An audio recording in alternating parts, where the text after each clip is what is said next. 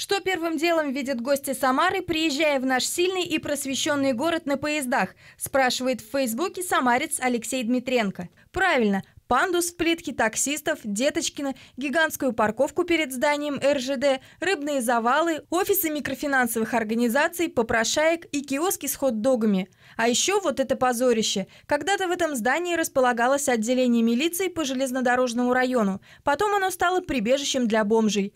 Пару лет назад оно горело. От греха подальше его заколотили, а недавно и вовсе с фасада сняли рекламу с Басковым. Но беда не приходит одна. Студенты местного техникума приспособили окна-развалюхи под мусорки. Ну правильно, а куда еще бросать пакеты и окурки? Короче, встречаем Мундиаль. Самара, вперед!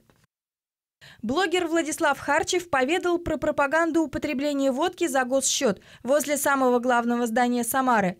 Новая государственная контора Роскачества решила закупить наружную рекламу на остановках и начала рекламировать свою пользу для россиян в отношении одних из самых популярных и востребованных товаров, по их мнению – вот такая реклама на остановке около Белого дома в Самаре намекает, что большинство сограждан потребляют соленые огурцы в целях закусывания алкоголя. Вот так вот. Рекламировать алкоголь на ТВ и в интернете запрещено законом, а на остановках около вузов и около Самарского УБД можно. Как считаете, тут есть чему возбудиться Роспотребнадзору, вопрошает автор.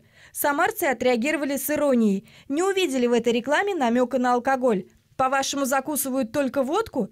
Тут также возможна опаснейшая пропаганда картофельного пюре.